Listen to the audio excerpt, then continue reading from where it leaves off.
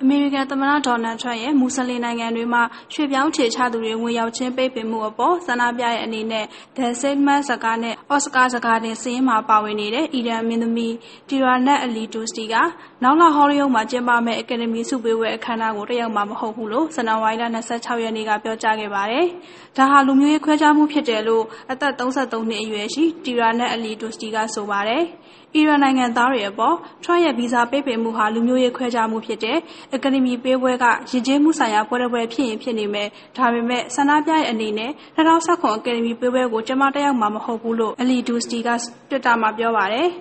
မွတ်စလင်အများစုနေထိုင်ရာနိုင်ငံတွေဖြစ်တဲ့ဆီးရီးယား၊ဆူဒန်၊ဆိုမာလီယာ၊အီရတ်၊အီရန်၊လစ်ဗျားနဲ့ယီမင်နိုင်ငံတို့မှရွှေ့ပြောင်းအခြေချသူတွေနဲ့ဆီးရီးယားဒုက္ခသည်တွေအမေရိကန်နိုင်ငံထဲဝင်ရောက်မှုတွေကိုပိတ်ဆို့သွားဖို့ထရန့်ကလာမယ့်ရက်တွေအတွင်းသမရအမိတ်အာဏာသုံးပြီးလက်မှတ်ထိုးသွားပွဲရှိရလို့ဗရန်သတင်းမှာဖော်ပြထားပါတယ်ကျွန်မခိုင်စန္ဒာကျော်ပါ